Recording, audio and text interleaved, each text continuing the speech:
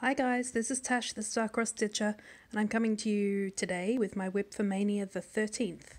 Um, I'm sure you've all seen me show this before. This is the Tranquility Sampler by Stickideen von der Wiehenberg. Um, I'm sorry if I butchered that pronunciation. It's German and I don't do German. um, I've been working on this little motif down here, um, which is really pretty and I like it. And I that's the halfway point there. It's just going to go like that.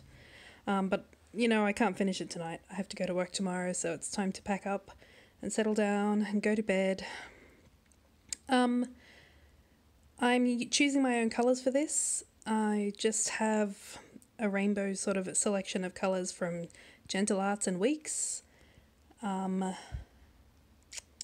what else? It's a stitched 1 over 1 on 32 count opalescent. You can see a bit of the opalescent here. Opalescent Lugana. Um, it is a colour called Cashmere Glitz from Silkweaver, um, and it's really good. I love it. Um, it's a big piece. It doesn't look that big here, but you know, considering it's over one, there's a lot of stitching in this. So a little motif like this actually takes me hours. Um, but it's okay. I think the result is worth it.